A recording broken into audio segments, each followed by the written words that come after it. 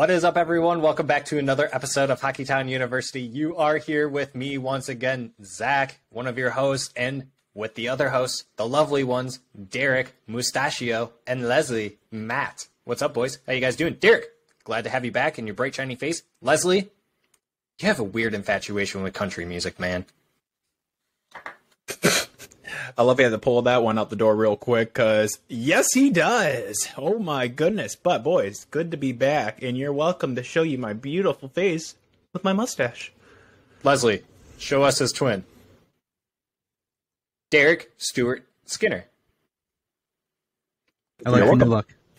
It's a match. It's a look. We're talking about NHL. I gotta look like the NHL. Come on, boys. Leslie, you got anything to say about your weird country infatuation? Well, it's just it's really nice that I like to listen to the most patriotic, you know, God-fearing, American-loving music, while you apparently were born without eardrums and you need to listen to the sound, or I guess what it sounds like for your computer to have a fatal virus, or for like what it sounds like if Jet if Chat GPT could sing. I'm talking about EDM, of course, which is just the most brainless music you could ever listen to. Sorry to all our listeners out there who love all the wubs and the dubs, but that's my opinion, and I think it's the correct opinion. Derek, give me your best R2D2 singing impersonation, please, for our listeners. God, you asked for this earlier, and I had no idea what the hell you actually meant. Beep boop, beep beep boop. That's pretty good. You're welcome, everybody. All right, you, That's all you get. that, better than what I expected, honestly. All right, well, thanks for joining us once again, everyone. For those of you that are returning, but for those that are new, thanks for joining us. And if you could, go ahead and hit that subscribe button. For everyone, go ahead and smash that like button. It only makes Derek's mustache grow. Yes, and if you guys want that, make sure you hit that button. Also, hit us up in the comment section. It is the last game of the season currently tonight. It is 7:44 p.m. as we are recording. The Detroit Red Wings are playing the Tampa Bay Lightning currently. They are down 1 to 0 going into the second period. Uh boys, welcome. It's finally over. How you guys feeling? It's been a long year, huh?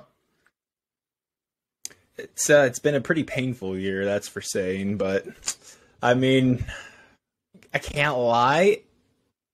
I thought it was a better year than what we've had in the past. Like, can you guys agree with me on that? I mean, Yeah. it wasn't pretty, but it wasn't the last year, the year before that, year before that, year before that, or year before that. One thing that I will Like, say about it is I felt like that this was it, it was definitely better than most recent years. But one thing to say about it is that I think there were more highs than there were lows this year than there were in previous years. And to me, that's a win. Um, also, the fact that we have more points than we did the last two or three seasons. So going into last season, you know, we have if we win tonight, then we have eight more points than we did last year. That's a huge improvement, even if we don't get tonight's win. So that's a win as well. Leslie, Yeah, it's definitely been a long season. Um, I'm glad that we're finally here at the end. I think overall it's been an improvement over the last seven years, although it is still another year ended with no playoffs. But I don't know. I think the people who thought that we were going to make playoffs this year without adding significant upgrades for elite talent when we have Buffalo and Ottawa rising, and of course the three top teams at the division still staying relevant and loaded and ready for the playoffs. That was kind of a pipe dream at best. But overall, I think just seeing the new coach come in and the team is running a whole new system, plus all the additions in the offseason, I think it went about as well as it could have. You know, they're, they're still not there yet, but I think with some necessary additions in the offseason and maybe you can see some of those guys in, in the system break out and make the team, you could see a potentially better year next year. And I, I'd say I'm definitely excited for next year. I think we have a lot of positive momentum going in there. So I hope we can just keep riding this wave of positivity and come back stronger next season. I agree with you 100%. I think that this is just, I mean, I, I- we pretty much say this year after year, and it's true though. There's nothing else to do but go up. I mean, if the Red Wings do worse next year than they did this year, there's a bigger problem. But I don't think that we have a bigger problem. I think we have good problems. we have a lot of young talent coming into the group that are challenging for spots on the roster. Some of them are going to make it, some of them are not, and that's okay, you know, because we do need talent in Grand Rapids Griffins, and we do want to see them grow and potentially make the playoffs there as well. I know Grand Rapids didn't have a great season as well as we did, the Red Wings, you know, so it's disappointing in that sense, yeah, but like you said, you know, next year's a new year. See what all this young talent can bring, and let's see if maybe we can make the same push like we did this year halfway through and see where we stand then. I, you know, and that's it's going to be tough this summer to gauge what Steve Yzerman truly is looking to do with all the draft picks, all the players that he has. Um, yeah, it's going to be interesting. So uh, let's go ahead and talk about uh, some Red Wings news, and then after that, we'll go around and talk about the some league news and some outside of the league news. Then we'll talk about the game on Tuesday against the Carolina Hurricanes, and then we'll kind of uh, dabble into tonight's game. Like we mentioned, you know, we are playing the Tampa Bay Lightning tonight for the last game of the season. Kind of talk about overall standings update, and then what's upcoming uh, for us as a podcast. This will be our first summer off season, so we're gonna try and do our best to see what we can come up with, keep you guys entertained as well as ourselves uh, first and foremost, I guess, but for you guys as well. You know, we want to make sure that you guys get great content, you guys get great updates, you guys get great news, same old stuff as we've been trying to provide for you guys lately. So let's go ahead and jump into it. Like I said, with some Red Wings news. Honestly, not too much news. Um, I don't know if anyone else has any news, and they can jump into suggesting whatever they have after this. But Amadeus Lombardi was called to the Grand Rapids Griffins to make his pro debut. Um, I don't know if anyone can let me know if he recorded any points, what how he did, or anything like that. But good on him. You know, I know that when he was in the playoffs, I think he finished with seven games, seven points. If someone can correct me on that as well, I think that's fantastic for someone in the OHL. Look at that! I don't even need to look it up. I'm just great. I love it. So let's keep that energy rolling. There is some research. You're welcome. Yeah. Hey, look at that. All right, let's keep the energy rolling. All right. So yeah, I mean that's for an overager, you could say that all you want. You know, guys, 21, if not almost 21. Um, coming into Grand Rapids Griffins, he, you know, in the OHL, put up over 100 points, seven games, seven points in the playoffs, like I said. And like Leslie and I talked about in the last episode, he was ranked second um, and in a couple categories, and then first in another by the coaches poll of the OHL for players in the West. So there's a lot to be excited about with him, right? And I believe it was Mickey Redmond who said that there's a good possibility that he could make a jump into the Red Wings roster for opening night. Is that something that you guys could see with this? For someone we drafted, what was it, sixth round, uh, or was it fourth round, 160th? Something like that. And a year after his actual, yeah, it's like a year after his actual draft year. So I, I do think about with that. I know his age is a little bit higher but just subtract one year from that age, just because he didn't get that chance during COVID to actually yeah. go through his draft year, get drafted, play. So now he's just a year behind a lot of people, but at the same time, he has the same stamina. He shows what he's doing right now. We got that crazy pick of him, and now he's just blowing up, and we're bringing him up real quick. And I want to see something good come out of this kid. Like, ooh, I'm excited. Thoughts, Leslie? Yeah, I mean, I I think this dude is gonna have to just completely blow off the doors in training camp and then take those doors and throw them in the wood chipper. Like he's gonna have to just play lights out in training camp to make this team.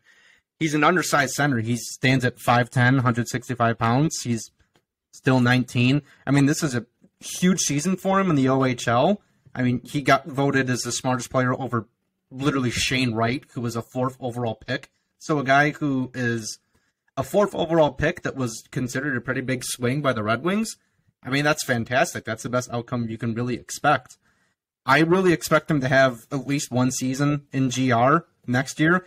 Maybe if he's just lighting it up, you could see him as a late season call up in, I don't know, maybe March or April, depending on where the Red Wings are in the playoff picture. But I think he still has some time to cook in the in the AHL and just kind of play like we're sitting here like the AHL is definitely a notch above the OHL. There's no doubt that that's true. I think if he lights it up there for at least a year, that'd be great for his development. And maybe the year after that, you could see him make the team. I think he's going to have a, a much better chance to do that in the next season. So, I don't know. I think um, I'm not going to say it's impossible for him to make the team, but it's not very likely. Leslie got us there, Derek, because I mean, uh, we, up what Sorry, no, I was going to say Leslie got us there. We got the age wrong, so he is 19. So Leslie corrected us on that. He's not 21. I always get him and Dos. Well, I just I had his elite prospects page pulled up, so Yeah, I- I, was kind of cheating. I always get him and Doset mixed up. So that's my apologies on that, uh, Derek. We expect you to Oh, I'll gonna go. go. No, go ahead. Say what you wanted to say though, too. Uh, I was gonna just touch base off what Leslie was saying too, like how he might not be ready. Like, well, we li- I think we all listened to on the Weenville podcast earlier. They were talking about him a little bit. He has that mindset for the game. He's really smart, like you were saying, Leslie. You got the reward for it and everything. He just has to get to the size and the speed of an NHL player, and he'll be a dominant force in the NHL. But like you also said, he's puny. He's a tiny little dude right now. He has to bulk up quite a bit, get his speed down, get his handling down. Then that's when we will see something really good come out of him, even more so than what he's doing now. Kind of like with Mazur we have going on, who has to put on like another 15 pounds. That way he can even compete too in the NHL. Even though, obviously, whole different story there. Doing great already in the Grand Rapids Griffins, as we can see. But kid definitely needs to put on some weight, put on some strength. Then I think he'll be a force to reckon with. That's for sure. Yeah, um, I'll.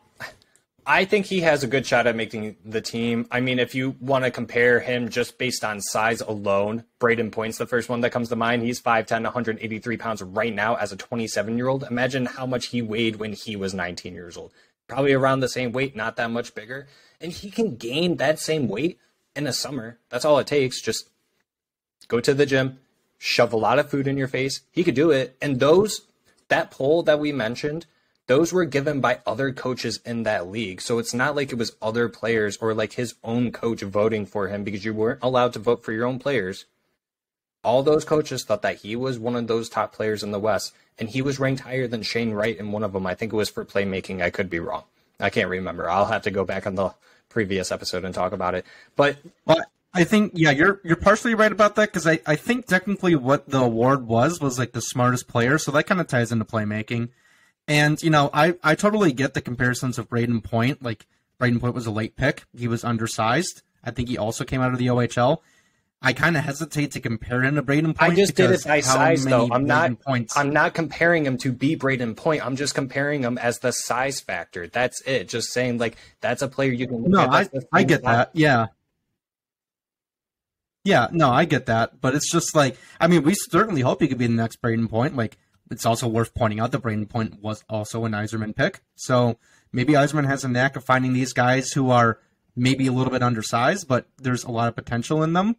And I don't know, it, it would definitely be a great thing if he turned out to be Brayden Point for the Red Wings. So I'll definitely hope for that. Yeah. So what I was really just trying to I get mean, at with we that. also look at the. Oh, Sorry, Derek. Go ahead. It's okay. We have such a lag on these things. Oh my god. But I was also going to honestly, I was going to go against my own point I just made. We can always look at that five four player that Buffalo had those years ago. What was his uh, Gerber or something? Literally Gerber. I think it was literally Gerber. Nathan Gerber. And oh my god, did you ever watch him play? No. The dude literally five four just launches up at people and knocks the crap out of them. I'm like, okay, in that factor, size really doesn't matter because that guy was crazy and it looked hilarious. It kind of like a child was out there fighting all these like foot guys, but he made it work. He was in the NHL and he played great. I mean, hell, if you can do everything that you need to do and make it up here, I'd be okay with his size at that point still. Yeah, and a lot has to go right for him, like you guys are saying. I agree with that as well. You know, he has to have a good training camp. He has to go in with the right mindset, and he has to play the way that he knows how to play. But also, along with that, what's Steve Yzerman going to do in the offseason via free agency? Is he going to make any trades? That definitely makes an impact of him being able to make that opening night roster. But from past experience, from what we've seen from him in training camps or uh, what is it when they get drafted and then they go to the prospects tournament or whatever it is that they have for their draft prospects. Didn't he score a Michigan goal in one of those? Yeah. So like, Yeah, the kid got skill. So like we saw it firsthand. So for us to say like, oh, He got game. he put up over 100 points in the OHL. If COVID never happened, he probably would have done that last year before he got Mhm. drafted. Oh yeah. So th- this could be our hidden gem that we've been looking for. And yes, I am not calling him Brayden Point. I want him to be his own player. I want him to be him. So he doesn't have to be anyone else. So Amadeus Lombardi, he has, like those coaches said, he has the playmaking, he has the smarts, and he has the hockey IQ that you want in a player, in my opinion. Uh, not that I can say that I've seen him play, but but what we've seen in the past and what has translated since then, I think that this is someone that could come in into training camp going up against other young talent that we have and he could make a statement saying like, yeah, I want to make the roster. Even if it was the third line, there's nothing wrong with that. You could even put him on the fourth line. There's still nothing wrong with that. And then if you don't think that it's working out, send him back down. Injuries happen too. So just food for thought on that. Anyone else have anything on ammo? No more ammo? Nope. Nope. All right. Around the league news Jonathan Toews and the Blackhawks will not re sign. Is that a shocker to anyone? Not even the slightest. Not really. How many games has he played this year? Even No. twenty. Good question. I don't know. Uh, I'll look that up, but Leslie looked like he had something to say about that. it's it's not really totally a surprise. I know that he had COVID. I want to say earlier this season, and which kind of limited. Well, yeah, we don't really know the details behind that, but Yeah. I've heard allegedly that he has like what they call long COVID, which I don't really even know what that means, but I guess it's like some sort of autoimmune disease where you just are perpetually sick and you just have the effects from COVID last a long time. We're not doctors on this podcast. If we were, there's no chance we'd be doing this podcast on YouTube. No. We'd be in our mansions driving our Bugattis to the office. So we don't know too much about that, but I'm not totally surprised. I honestly was kind of surprised he even came back this season to play. I thought he was going to retire in the offseason, but yeah, he's most definitely going to retire. I really don't see any team. Well, I guess I could see some teams wanting to sign him just for veteran leadership, but if I'm him, I'm going to be thinking to myself, I've played, what has he played, like 14, 15 seasons in the Uh, NHL? He's won three cups. What else does he have to prove? So he's been in the league since 2007.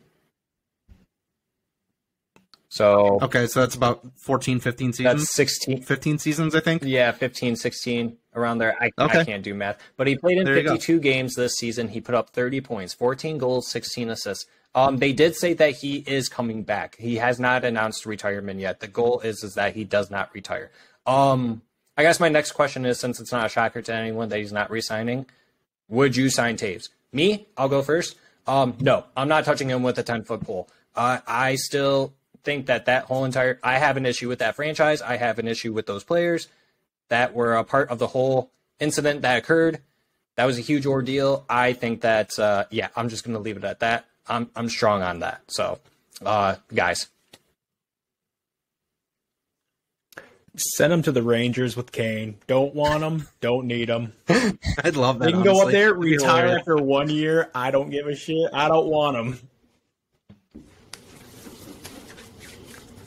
Yeah, I mean, there's no chance that I would sign him for any sort of term or any sort of money on this team. It's funny, like if Ken Holland was still running this team, we probably would see that happen this summer because who loves giving out contracts to aging veterans past their prime more than Kenny Holland, our boy? RIP. So yeah, there's there's no way. I don't think he skates again.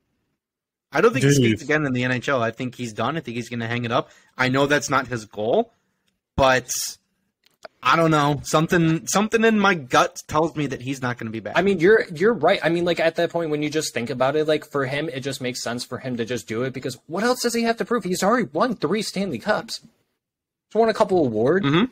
Well. You you really want to make money that bad? Go take on a leadership role for the Blackhawks. Then go go join their upper management. They probably don't want him there. That's what. Which, well, now that you mention it, that actually seems like a pretty good avenue for him. And I, I don't really necessarily, I don't necessarily think they don't want him. I don't see why they wouldn't want him there. But For a that's probably what's going to end up happening. Well, oh, okay, yeah. Actually, I won't go deeper into it because I could talk about this all day. Because uh, I was going to say something that I probably might regret. Let's, let's probably not. I yeah. probably won't say that. So let's go ahead Mm-hmm. and move on. Uh, Leslie's favorite team, the Islanders, beat the Montreal Canadiens, thus closing the playoff spots that were available. The Red Wings do own the Islanders' pick from the Hronek trade that they made to Vancouver. Uh, that pick currently starts at 17th. Derek, we know Leslie's answer to this, so we're not going to allow him to answer this. Are we okay with this? Yes, yes, you are. We we already know what you want, Leslie. Okay, that's why we're not letting you answer. I mean, I, we saw it was coming. They're playing the Canadiens. It wasn't gonna be anything long shot or anything. It's fine with what it is. I kind of wish they got placed a little lower, obviously, so we get a little bit better of a pick. But it is what it is. They're going to the playoffs. I don't think they're going to make it past the first round. Of course, Leslie will disagree with me very much so, but that's just the hard truth of it for Leslie and his whole entire family apparently that lives all in Michigan by the way. Leslie, That is not true whatsoever. Leslie, before you go on a spiel, I want to I want to insert mine next. Hold on, buddy, because I will say because I I- I'm okay with it more now knowing that the Washington Capitals are winning four to one currently against the New Jersey Devils. If they win and we lose, the Washington Capitals bump us down in the standings, which means that we will get a better draft pick. So I will be okay more now with the Islanders making it if the Washington Capitals do not fuck this up. That is my one F word for an episode. I don't get too many of them. I try not to use it, but there's my one for today. So there you guys go. I do swear, yes, I have a sailor's mouth and I try not to use it. Um, We're very fr- family friendly here. Don't for worry. me, um, Leslie, I, I'm sorry. I, I'm not okay with it. You can call me a Pens fan all you want because I'm not. It's just because I want the Red Wings to have a better pick. We've been suffering for so long that I'm sorry that the Islanders are barely better than the Penguins, Buffaloes, and all those guys. But like, I definitely would have preferred it being the 16th than a possibly 18th, 19th, 20th pick. And now that I know that they're probably going to go up against Boston, coming down to Florida if they can figure it out against the Carolina Hurricanes, who are up on them one to zero, you guys might get lucky. So maybe you won't have to face Boston. But if you guys face Boston, I'm sorry, buddy. I'm I'm going Boston 4-0 on that series. I want that 17th pick. I need it. Okay, now Leslie can go. Good luck, everybody. I Keep it as short as possible. do not care who they play in the playoffs. They can play the 96 Bulls, the 85 Bears, the 2016 Golden State Warriors, the 09 Patriots. I don't care who they go up against. This is my New York Islanders. The cup is coming to the island. We're going to plan a cup parade around my Nana's neighborhood. She's 93 years old. It'll be the best thing she's ever seen in her entire life out that window. They're going all the way. I don't care who they play in the first round, the second round, the third round. I could not care less. Sorokin is going to channel his inner Billy Smith. He's going to stop every puck that comes his way. He will sweep all of the opposition, and they will be winning the cup. And when they do, I'm on a first class flight into LaGuardia wearing all my Islanders gear, chanting, Let's go, Isles. Let's go, Isles. Is that really the, The cup is coming home. I actually don't know what the chant is. I was gonna say that is I mean, honestly, Leslie, they go uh, if they do win the Stanley Cup. I will jump on that first class flight with you just to go party, just because. Holy Hey, hell! What the hell? You know what? I the, the invite to the bandwagon is still open. You guys just don't want to hop on with me. I never I closed never it. closed the door on you. No, Derek I never me, closed the door on the bandwagon. Derek, shut up. You and I both know You that have we're until Monday to Golden hop Knights on. fans. Okay, we were we were original fans of Vegas before they were ever good. You know that. I know. And they're going to lose in the anybody Stanley Cup Finals to the Islander. Okay, okay, that's enough about the Isles. So, Leslie, you're a sick human being for wanting the Isles to get in the playoffs in the first place. So let's go ahead and move on. Speaking of the playoffs, They begin on Monday, April 17th, this upcoming Monday. So let's talk about the teams that didn't make it in. The Pens and the Caps did not make the postseason for the first time since 2005 2006 season when they were both rookies. Oh. Uh, what did I say? Ovi won the Calder Trophy. Uh, some random dude won Rocket Richard that probably only played in three seasons total, and uh, a whole bunch of other things happened. Like VHS there. tapes were still being used, and the the CD player probably got uh, invented or something. I don't know. Who knows? But uh, I mean, I was about to say, if Leslie had that photo still, I'd say show that as a comparison to how long it's been since those two teams have not been in the NHL playoffs. Because holy crap, those are some babies in that photo you sent us earlier. So I got a quick oh, question. Oh yeah, I can pull it up real quick. Yeah, I got a quick question for you boys in the meantime while Leslie pulls that up. So, do you think that there's a chance that either one of these teams makes the postseason next year after what we are witnessing right now? Oh my goodness, look at those flows. And those jerseys, bro. Dude. Still old looking ugly. All right, so Capitals to reiterate the question, do you do you guys think that either one of these teams has an opportunity to make the postseason next next year? Derek, start. Oh man, I the Penguins are just so old right now. I don't know what's going on with that team, but I'm pretty sure the youngest player I think is their goalie at like 23 or 24 and then their average age is 27 and up. I'm like unless they start bringing some fresh legs in start getting some new crew and like they're not the same team they were back in 2000 and like 12 2013 anymore. They have downgraded so far down. They're all their best players crosby mulligan they're all old now. And then we got the washington capitals over here with pretty much ovi as just a shotgun up in the top slot. He's old as crap too I mean, he's hitting the all-time goal record right now. Well, not all-time. We still got Wayne Gretzky up there, and it's somebody else, I believe. But he's not going to continue that process for like the next two, three years. He's going to start declining and declining. He's literally just getting old. And then we have also players on that Washington team that want to leave. Apparently, you know, rumors. We don't really know. But at the same time, it's like I don't think either of those guys. They might be going towards what the Red Wings were in back in like was it 2017, the nice rebuild stage when we started losing everybody, everyone retired. I feel like they're that's they were up here, up here, hit their peaks. Now it's just meow. That's the crazy until they got to do the full rebuild and Crosby retires. That's the crazy thing about it, though, Derek, is that you look at their stats: Sidney Crosby in 81 games, 91 points; Malkin 83 points in 81 games, and you have Guentzel who's a little bit younger than them, 72 points in 77 games. So they're like, yes, they're kind of like the Red Wings back then, but they're still like good players. They just unfortunately didn't make it in this year. Um, but as time continues on, they're not getting younger. So is there opportunity window to keep making it in long gone?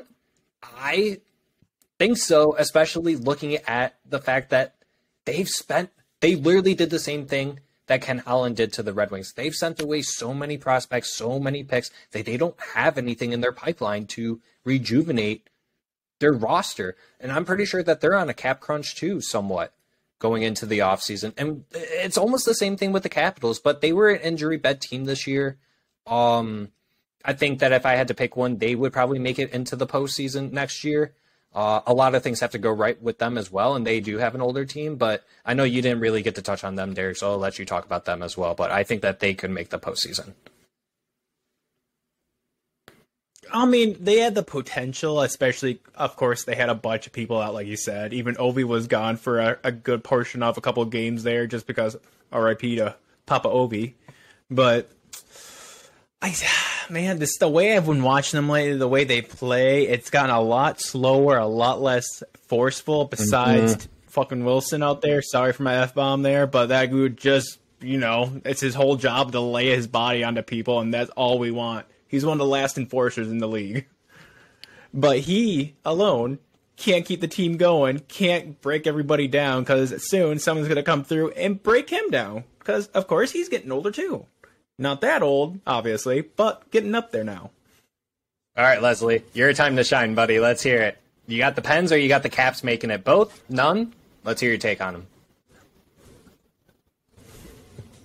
I honestly think that the Pens can still make the playoffs next year. I mean, look look at how they got eliminated. They almost could have made it if they just didn't lose to one of the worst teams in the entire league at home. I mean, That's true. That is one of the most inexplicable losses I've ever seen in a regular season. So That was shameful.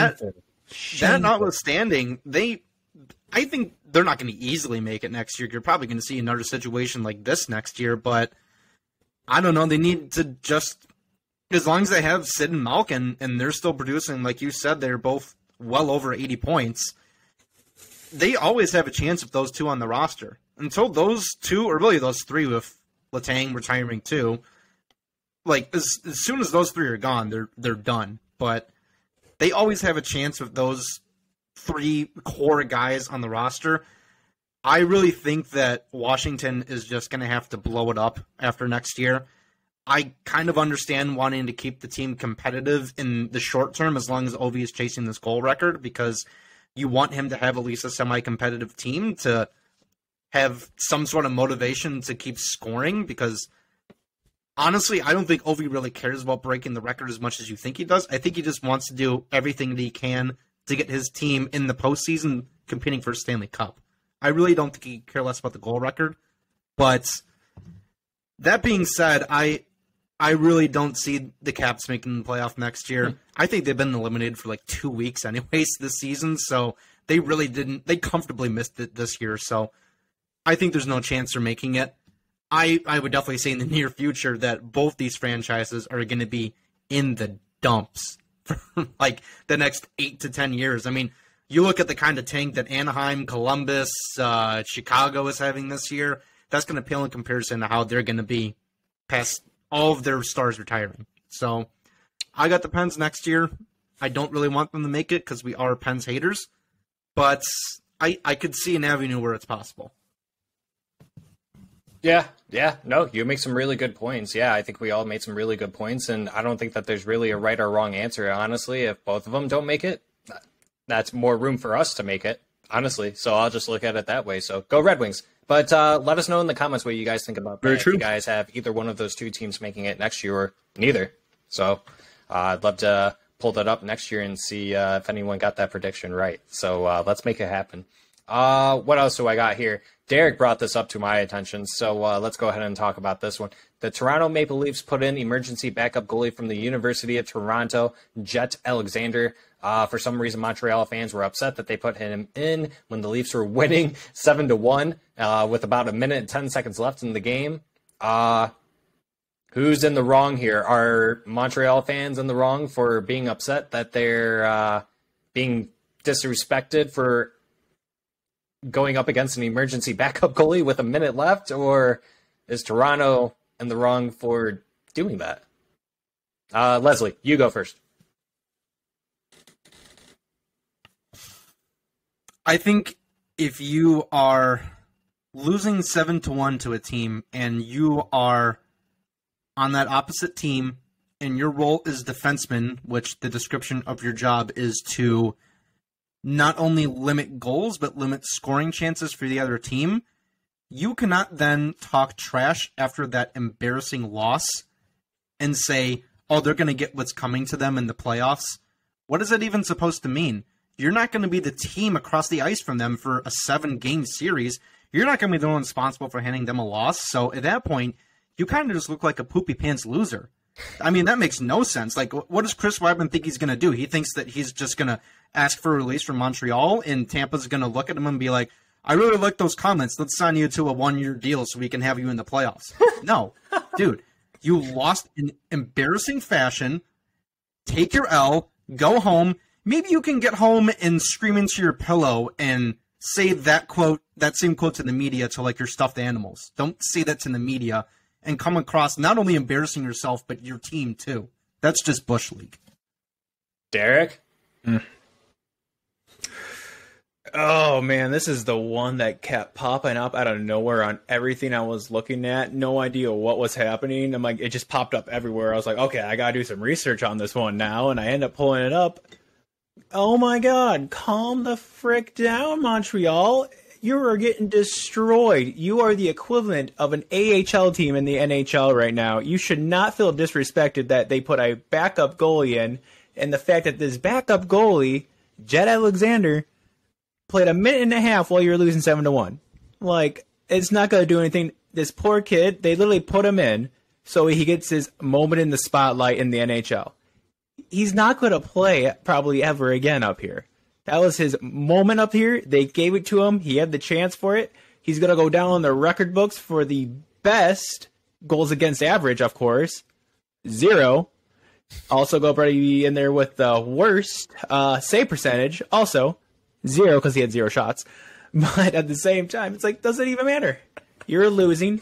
Get over it. And of course, they also got a little bit peed off with uh, them putting when it was six to one. They put their number one power play out there. It's like, who cares? Of course, you guys are like literally the warm up for them to go into the playoffs on Monday. They're going to put their best players out there. They do what they have to do. You're literally a practice squad to them at this point. Get over yourselves. And like Wideman, come on. Why you got to make a comment about something? Like Leslie said, you're not even the team that's facing them in the playoffs. You're, they're just going. They're just trying to hurt Mont or not Montreal. They're just trying to hurt Toronto because obviously they haven't made it past the first round since 2003. But I get it. It's a low burn, but not really needed. And there were so many people that just jumped on the bandwagon of crapping on Toronto. I was like, y'all gotta calm down. It's not the biggest thing in the world, and the fact that they're getting upset about two things on two separate spectrums, like, oh, you're mad that we put our best players out, then you get mad that they put their worst player out. Which way do you guys want to lean on that one? It's like you can't throw two rocks and hit two birds. Well, you can. That doesn't make any sense. But the same way, you just can't be mad for two things that are completely opposite. You just got to understand that they got destroyed. They were butthurt, and Jett got his moment in the spotlight. And that was it. At least from my perspective. So, oh, um, yeah, I, I, I, I had. How do I want to start this off? Um, I didn't get notified about the story like Derek did. It wasn't really popping up on my social media as much. I just saw that it happened and that was it. I was like, okay, cool, whatever. So when Derek told me about it, I was like, okay, that's a little interesting. So it made me thought, and when I'm what I'm about to say, this is no disrespect to Chris Wideman. The dude started his career with Ottawa in 2015-16. He then ended up with the Edmonton Oilers in 2018-19, getting traded from Ottawa, I'm assuming. Then somehow stumbled into Florida Panthers, and then just stuck in the AHL, went to the KHL, came back to join the Montreal Canadiens last season. The best season he ever had, putting up 27 points in 64 games. No disrespect when I say this. This dude literally has no room to talk. I don't know what he's upset about. There's no reason to be upset. You had your opportunity to make up for it the whole entire game. So why are you upset about the last minute when you're already down six goals? That's just freaking dumb.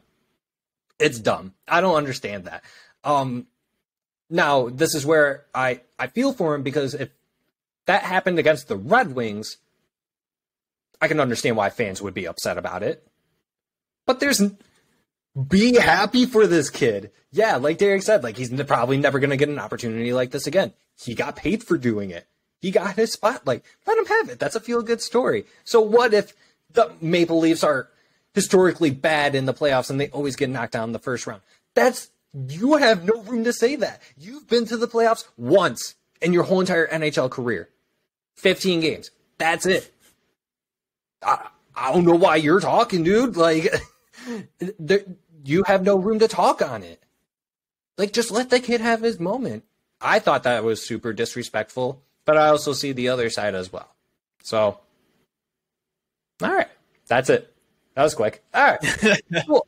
So let's go ahead and Way recap. Let's go ahead and recap the Red Wings versus the Carolina Hurricanes on Tuesday. Uh, the Red Wings did lose four to one with, uh, I think it was Nedeljkovic in that. If someone could uh, tell me otherwise. I, it was. Yeah, it was Ned. Yep. Captain Dylan Larkin was out.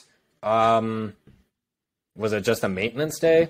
I don't think anyone really found that out. I'm assuming it's just a maintenance day. I mean, I. Because why not, dude? I, seems like every time tonight. Any, I mean, hopefully it's not the same way, but man, I swear every time, every game I watch against Carolina, any team that plays them. I'm so bored. Carolina is a boring team to watch. They're Yeah. so defensively strong. They don't have anybody. I pulled up their line for their roster right now. They don't have really any top tier players on that team. I'm not realizing. They just have a solid middle pack team that mm-hmm. does all the little things correct. Yeah. And has great defense and exceptional goalies right now. Like Rantanen, I think he's like 19 and 3 and 3. I was like, I Something did not realize yeah. that he was. Yeah, I was like, okay, they're goalie and their D on point, and that makes sense of why they're where they're at in the playoffs right now and going into the playoffs because they're obviously a good team defensively. But man, crazy to see what they can actually do when they're actually not that high ranking of a team. This this is no disrespect And to then you, you know, and Red your, Wings. This is no disrespect to you and your Islanders, Leslie. But I, if I were to compare the Carolina Hurricanes to any team, it would definitely be the Islanders because the Islanders do the exact same thing. But I would put, like I said, no disrespect. The Islanders are probably here, and then you have Carolina up here. I mean, it's it shows in the standings too. Um, but you're right, Derek. They really don't have too many offensive weapons, and that's how I compare them to the Islanders as well. But they do have an Andrei Svechnikov. They do have a Sebastian Aho, so they have some good names in there. They have Brent Burns.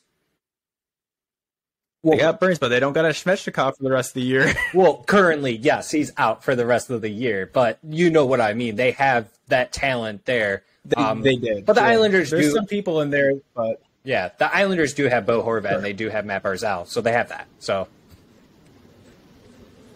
I, I would also like to point out that the Islanders also do have Sebastian Aho. So don't They- forget about that. they do have a Sebastian. the other Aho. Sebastian Aho. They do. You're not wrong. The cooler Sebastian Aho. yeah. All right, so going back into the game, Robert Hagg was the only goal scorer. Joe Veleno was able to collect an assist, so that's good to see. The young guys, like we mentioned, you know, we want to see them getting um, involved in the play. So good on him for getting that. Um, not too much brightness in the in this game, to be honest. Um, if I were to take anything away from this game, uh, the Wings did a good job of not getting completely blown out. Anyone else? I mean, one to three isn't that bad. I mean, it's I mean, not what else really can bad you really in say at this stage in the, in the season? Like the Red Wings not only are dealing with injuries, but they've also been eliminated for a week from the playoffs. So at this point, what what do you have to play for other than a draft pick? Now, if you're in the locker room, you're not saying the same thing because like Yeah. They're not playing for a draft pick in the locker room. They're playing to win the game, obviously. But I don't know. Like they, they don't have a roster at the moment that is capable of winning NHL games on a regular basis. So I I guess good job hanging in there.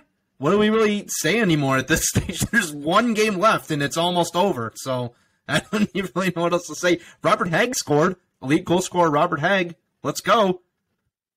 Seven Yeah. seven year deal next year. I'm I'm saying it right now. but Can other you than not that, I don't, that? I don't really know. I don't really know what else to say. Yeah, I mean, for those of you that are still watching with us right now, I mean, unfortunately, there really isn't too much more that, I, at least, I don't have anything else really to go into about the game because, the, like we said, you know, it's the end of the season. Like we're pretty much just like what's what's there really for them to play for. But for those players, you know, there's a lot that they have to play for, so it's a little different. But I think that there were some goods. Uh, obviously, a lot of bads. They didn't put up as much goals as we probably wanted them to, but you know, like we continuously say, we want to see improvement from the young players. We're happy to see that some of these young players are getting more opportunity due to injury and because of trades that happened at the trade deadline. So, um, hopefully, this only improves them moving forward, and that's what we continuously just ask for and hope for. Uh, now that we're in our last game of the season. Um, other than that, the Red Wings were outshot 21 to 28. They went over 2 on the power play. Um, Derek, help us out here. You got anything, buddy? I mean, if you go, th- you could literally go type in Red Wings versus Carolina NHL highlights. You'll literally get the entirety of the game in that eight minute clip there. Because th- I can tell you, there were some good plays, but the sad thing is, they conjoined all those good plays, and it only took eight minutes. I was just like, yeah, that really does sum up the entirety of the game. Like there are some good shots, good opportunities. Husso, not Husso, who wasn't in net. Ned didn't really need to let that first one in. He got faked out a little bit trying to go back and left that side open, but And then, of course, at the very end of the third period, we had a knob shot uh, to make it two to three, like four minutes left. But other than that, there's it was a heavy defensive game, except on the Red Wings part. Nothing too exciting. Again, like I said, I am bored to death watching Carolina play hockey. Yeah. Even though they have some good players and they make some special moves once in a while, it's still boring. I can't do it. It hurt me. It took That me eight two minute highlight video was probably five minutes too long. It was. Let me tell you. It, Yeah. it was like a couple of them are passes, and I was like, "That's a good pass." Then they shift to the next screen. I was like, "Oh, that's a highlight." Videos videos like that really kind of redetermine what a highlight actually is. I bet you that person got in trouble Makes for you second making guess the a video more. that long too. They were probably like, like, why'd you spend like four hours making an eight minute condensed video of just plays that didn't end up turning into goals and like nothing happened? Well, that's my job. I don't know. You're fired. Right, haven't even worked. with Parts of the game. Um. So But yeah, in general, yeah. Yeah, yeah, um, yeah. Like Derek said, I mean, if you, yeah, I know it's kind of our job to kind of let you guys know the recap, but that's, to, let's be real. I mean, that's pretty much where we're at right now, and that's pretty much what it is for the rest of, you know, Red Wings fandom and other podcasts as well. You know, there's really not too much that you can really look forward to except for the draft lottery and your your standings falling. You know, so like we're waiting for, you know, Washington's currently up four to one on New Jersey right now. So once they do that, I believe we get the eighth spot officially. If we lose to the Tampa Bay Lightning, so that's Well- to look forward. The Wings would still need to lose. I mean, it is Yeah. only zero one, and what is it? About eight minutes left in the second. So, Oh, whoa, you, you're you re- know, you're you really- never know with the Red Wings. You're eight minutes, dude. I'm five minutes, bro. You're really behind. Okay, I'm looking at I Have a Dream post right now from 2010. I, okay, Carter now I'm on a commercial. I don't That's know. Carter Mazur's. yeah, that's the one I talked about in one of the episodes. Yeah, there's like five minutes left in the second period, buddy. Not eight. oh, I, I have not looked at the time in a while. It's one zero. So, other than that, you know, we'll go ahead and wrap it up with that recap of the Carolina game. Not much of a recap, but yeah, nonetheless, you know, uh, we wanted to talk about the Tampa Bay Lightning game tonight. It's the last game of the season, like we keep on reiterating. Uh, Larkin is in tonight and can be the first Red Wing to reach 80 points uh, in a single season since Henrik Zetterberg did it. Did it. I want to ask you guys: Do you guys know? Can you guys tell me what year it was that you think Henrik Zetterberg hit the 80 point mark? Leslie, you go first. Take a guess. I feel like you might have already given this answer away in our text thread, but I could be thinking of someone else. Is it 2012? No. And I think we lost Derek. I'm not exactly sure. Nope. There he is, Derek. I think he's still here. There you are. Yeah, he's still here. He was a little frozen for Yeah, me. get back. Yeah. So, Derek, all right. Can you tell me when you think the last time Zetterberg uh, hit the 80 point mark? Oh, Zetterberg. Let's see. What was his career frame from? And uh, his last year, what was 2015? Yeah. Sure. 2016? Let's, let's just say that. Just spit out a year for me. I'm gonna go. Let's see, 2000 and never. Just kidding. 2008. Uh, well, what'd you say? You you both got it wrong, and it, and it's the year that was right in the middle. 2010, 2011 is the last time that a Red Wings player reached the 80 point mark, and it was Henrik Zetterberg. That that that's Eh, only a couple years off. I was going for the cup year. is that not is that not crazy? Like, is that That's not sad. insane that that that it's been that long since we've seen a Red Wing player hit 80 points? Uh, well, you years? use the word insane. Uh, the the word choice I would use is depressing and dark and sad. But insane is a good choice too. Guys, I like to call it a rebuild. A eleven year rebuild. Yes, exactly. Oh. Thank you, Leslie. You know what I'm talking Cool. about. We're not the Buffalo Sabres here, buddy. Come on, don't do that to us now, okay? Are you sure? I'm Hey, if do you see Buffalo gets right in now? next year and we don't, we are the Buffalo Sabres. We're the new Buffalo Sabres. If we don't get an extra, and they do, no, we are the Buffalo Sabres. if we get the number one, number two draft pick in this year, we get Adam Fantilli. They got Jack Hughes, or not Jack Hughes. Sorry, who who was it? Uh, Jack Eichel. I'm sorry. That was Yeah. what? And guess where he's at? Not there. I mean, I'll I'll take that. I just hope that Fantilli doesn't do us like Eichel did the Buffalo. So I'll take that. Protect him and make sure he doesn't break his back. It's that plain and simple. He won't leave that. Just wrap him in bubble wrap every time he goes on the we won't ice. leave him. Just go to Vegas and spend all his money. Put, put him in a non-contact jersey every time he's on the ice. no. Yeah. Even in the games. Uh, other than that, uh, Husso's in net right now. Ned is currently on baby watch. Um, does anyone know if he's expecting to have a boy or a girl? I'm going to take a guess Not a because we don't, we aren't sure what it is. I'm sure no one knows, but I'm going to take a guess. I think it's a girl. A boy. All right, Derek. What's he gonna have? Uh, I mean, I feel like most hockey players usually have boys in general, so I'm gonna go girl.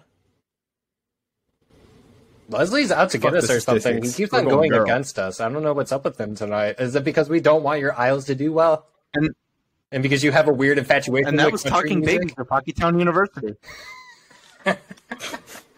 and that was Talking Babies. Talking baby. I mean, he told me he couldn't have his first answer. All right, so let's go ahead and move on. Uh, standings update. Even though we've been talking about the standings, they're currently ninth. If the Capitals win and the Red Wings lose, we get eighth. Currently locked into that until the draft lottery. Then at that point, Leslie, do you know the percentage chances if we do land eighth in the standings? What's our chance for number one? Like five and a half Yeah, percent. I, I believe the percentage. I think the percentage goes up from five and a half to like six and a half or six or something like that. So basically, terrible odds, but a little bit better than what we are right now, I guess. I mean, I'll take Hey, it. you're saying there's a chance. Yeah, I mean, I I've uh I've kind of just employed the strategy of just not really worrying about the odds and just letting whatever happens happen because I think if I just don't believe that we're going to win the lottery, maybe that's reverse psychology and we end up will we will end up winning it. Does that sound crazy to you guys? Or maybe I'm just doing this for my mental health? Buddy, if the Red Wings are going the way they do right now for the rest of the draft seasons like they did in the past, it makes perfect sense. When we're supposed to get number one, we don't get anywhere near it. When we're supposed to get like 10th or 11th or whatever the heck it's going to be, if they do end, or I guess if Washington loses, but if they win, we get 8th. But, you know, we'll probably end up, if we get 8th, we'll probably get up, we could get 10th. You know, it's the Red Wings. I think the league just doesn't like Yeah. us in general. Yeah, I mean, I, I you look at some of these other teams. I mean, what Buffalo's gotten four first and second overall picks. New Jersey's gotten a couple streaks of luck. New Jer or New York. I mean, I literally just said New Jersey. I was going to say them again. New York. Um, the Oilers, prime example too. I mean, like granted they weren't all in the draft lottery, but they got Connor McDavid from it. And then you look at Toronto, they got Auston Matthews. So it's just like, when is it finally going to be the Red Wings' turn? Like, when are we going to get the luck that we've seen happen to literally the same four teams over and over again? And granted, we probably didn't suck in the standings as bad as they did for as long as they did. Ah. but still, like that, that, that one to four drop, that still resonates in us fans today. And it's just like, when is, when is Bettman gonna make it right for us? Come on, Bettman, just hear my cry, please.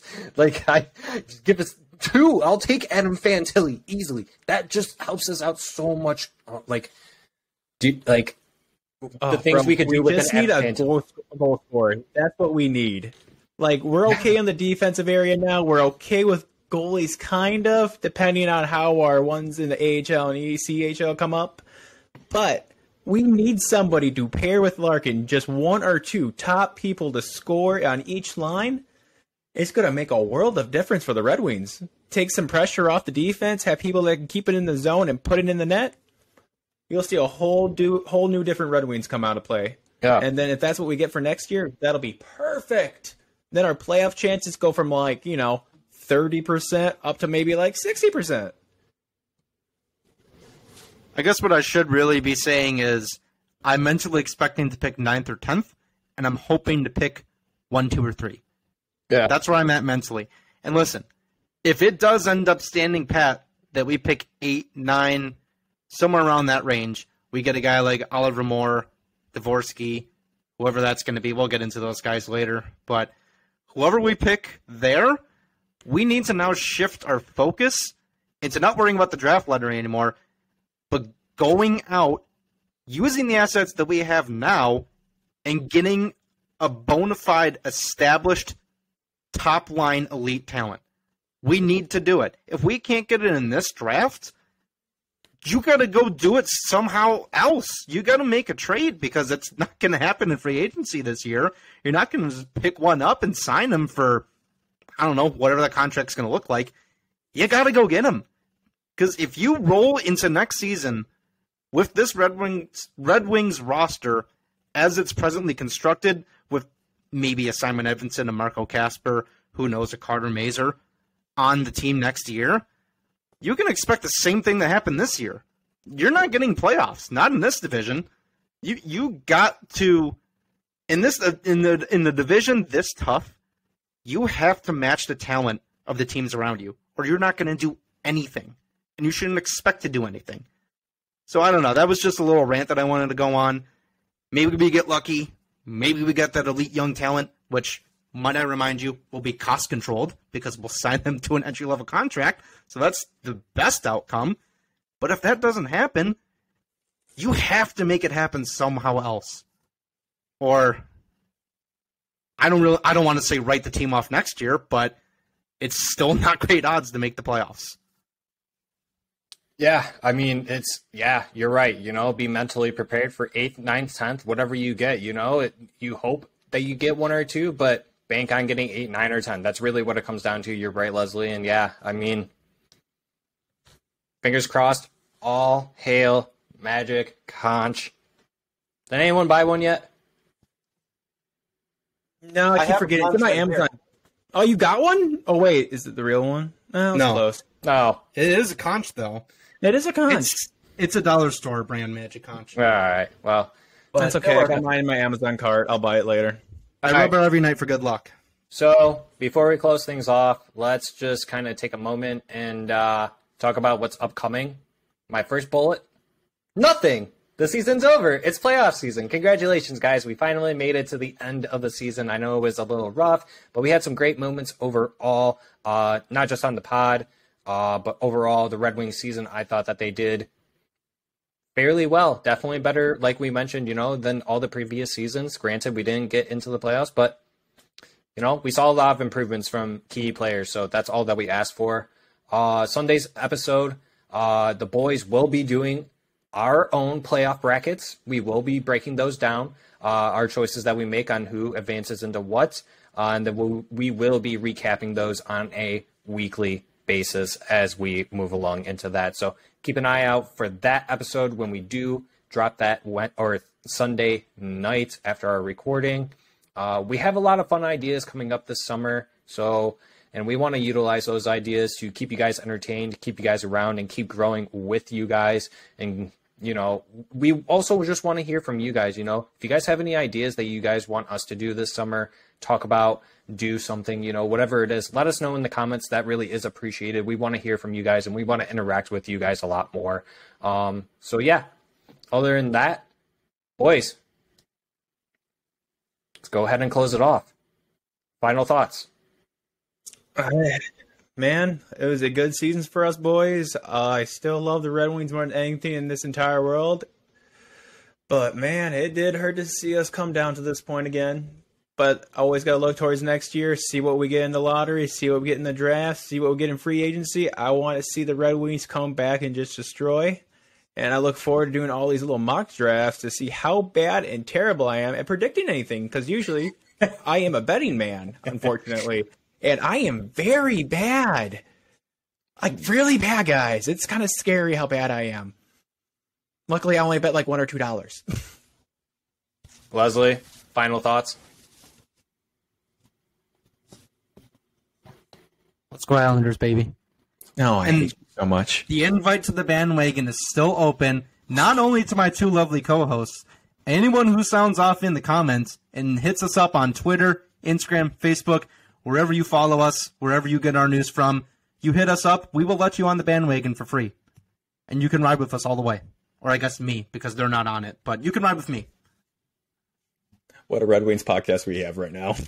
All right. Oh, I promise you, the minute they get eliminated, which that won't happen until the Stanley Cup Finals when they win, but the minute if they do somehow get eliminated before then, I will act like the Islanders never existed.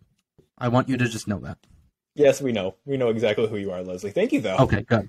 I just wanted to clarify. All right. So my final thoughts are, uh, Leslie, you're a psycho for country music, and uh, yeah, I don't want the Islanders to win, so I will not be hopping on your bandwagon. But uh, great season overall for the Red Wings. That's uh, for you. Your mustache really does creep me out, but I want to continuously see it grow. So keep it up. Maybe shave everything else that's around it. That maybe make me feel a little bit better. But those are my final thoughts. So uh, thank you guys once again for those of you returning. Thanks for joining us for another episode. For those of you that are new, you know, thank you for joining us and hit that subscribe button for everyone once again. Make sure you're smashing that like button. It only makes the mustache grow. I'm currently trying to get mine as well. I, you know, kind of got this kind of down a little bit. Uh, Leslie, I think, is working on his as well. Uh, we can get you some Miracle-Gro if you want. Uh, leave a comment down below if you think that we should get a uh, basket full of Miracle-Gro for Leslie so that he can catch up on his mustache game with us. And All right, well, I just I want to clear this up right now. Um, I am not growing a mustache or a beard because uh, my girlfriend would not allow me to. She says it's too scratchy, so that will not be happening. I will shave tomorrow. all right, so thanks everyone. We appreciate y'all stopping by, and until next time, we'll see you Sunday night. Bye everyone. Go Red Wings. Boots and Adios. Boots and cuts and boots and cuts and boots and cuts and boots and cuts.